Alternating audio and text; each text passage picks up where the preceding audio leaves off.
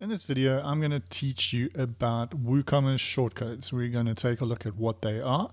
Um, we're going to take a look at where we use them, and we're also going to give you a practical example of how we can use them to create a mid-year web uh, a mid-year sale on your web shop. Okay, so let's just get into the meat of this straight away. What exactly is a WooCommerce shortcode? All right, so at the moment, I've got my Simple Stores demo site open here on the home page of the site. And you'll notice that on the home page, we had by default um, a few categories shown. We had some stuff that said new in, and we had fan favorites. Then we had some on sale stuff, and we had some best selling stuff as well. So the WooCommerce shortcodes are little snippets of code that you can type into any part of the website on a page or on a post or even in a widget. And what that little piece of code does is it goes and actually collects information from the database of all your products and it displays it on the page in a predetermined format. So, for instance, here, if we go into edit this page over, over there now, and we look at what's actually typed up on this page, you'll see that over here in between square brackets, we have a shortcode and there's a whole bunch of them. All right. So those shortcodes are the instructions to WordPress on what to do and how to display it. So it might seem a little bit confusing at first, but basically what this is is a very simplified version of writing code. Now, I know that you are probably going to get very distressed by the thought of actually writing code, but I want to show you just how easy this actually is and the various practicalities of actually using it.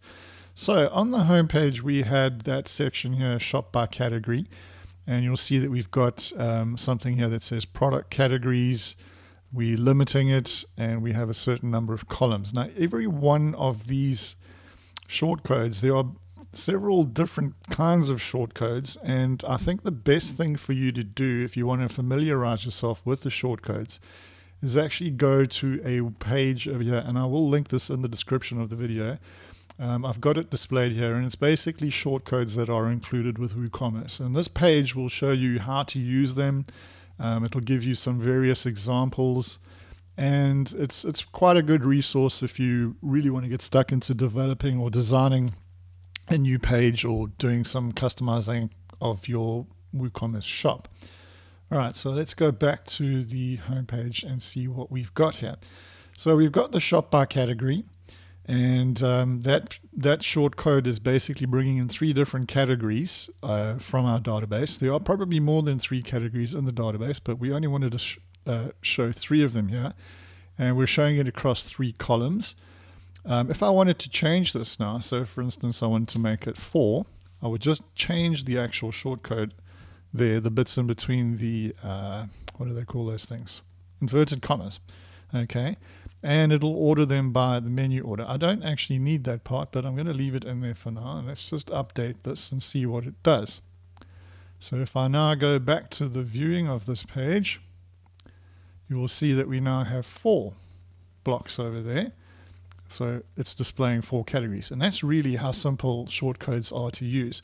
Once you learn the shortcodes and you learn where you can use them, um, they become very helpful to you in building specific parts of your website. So, you know, if you wanted to build a site that's um, very vanilla flavored, that's all good and well. But what if you wanted to do things a little bit more on your own terms? That's where the shortcodes can actually be very helpful to you. So what I want to do in this video is actually create a custom page that is going to be a page that we would be displaying as a mid-year sale. So let's go straight into doing that. And what I'm going to do is go to my WordPress dashboard and I'm going to go to pages. I'm going to click on add new and I'm going to call this whoops. Sorry, I'm I'm having typing difficulty because I have to lean over to get my mouth close to the microphone. All right. So mid-year sales is what we're going to call this page, and I'm not going to allow comments on this. I'm just going to publish the page as it is right now, and we're going to have a look at the page to see what's on it. and you'll see it's got basically nothing on there. Okay, so that's cool. We're going to now put all of our sale items on that page and we're going to link to that page from our menu. So let's get into it. Right. So the first thing to do is to decide well which WooCommerce shortcode we need to use. And in this instance, we want to use the product shortcodes. And this here will explain how these shortcodes work. And within each shortcode, you get different attributes as well. So what I want to do for my sale page is I actually want to create a, uh, a list of all the items that are in the shop that are on sale. Okay, so let's start. All right, where is my page? Okay, so here we go. I'm now going to type in with a square bracket products. Okay, leave a space, and now I'm going to start specifying the attributes. So the first attribute that I want to look for is whether it's on sale or not. And to find that, I'm just using this over here. Uh, let's see, where is on sale? There we go. So let's go ahead and do that. Products on underscore sale equals inverted commas, T-R-U-E. All right, so what we're doing is we're actually telling WooCommerce to bring back any products that are on sale and display them. Okay, so I'm going to stop this shortcode right here and let's just test it to see what it's done. Okay, and if I go here to view the page, I'm going to shut that one down. There you see, all the products that are on sale in my shop are now displayed on that page. There's six of them. Okay. Now, I don't like the fact that there's only two columns here, so I'm going to make this actually appear a little bit uh, bigger so, or a little smaller. So let's change it to three columns. Okay, so now I want to find what is the short code that I use to specify the number of columns, and it's quite literally the word columns. So I'll go back to the short code on the page here, leave a space after the last parameter, and type in columns equals 3. Oops. Very important that you type in the correct inverted comma, the single one isn't going to work. If I click on update, and I now go back to my front to my mid-year sales page, I now have a, three columns of information. And that's really how easy it is to use the shortcodes. So in this case here, I only have, uh, I think there were only, what, six products on sale. So if I was going to make a change to the number of products that I have on sale, I would need to go into my dashboard. Let's go there. Go to products, all products, and let's start adding some more sale items here. So on this product, if I do a quick edit, just type in the sale price here. Let's make that 80. And we'll do a quick edit over here make this 15, click on update. Let's do two more quick edits, make that 18.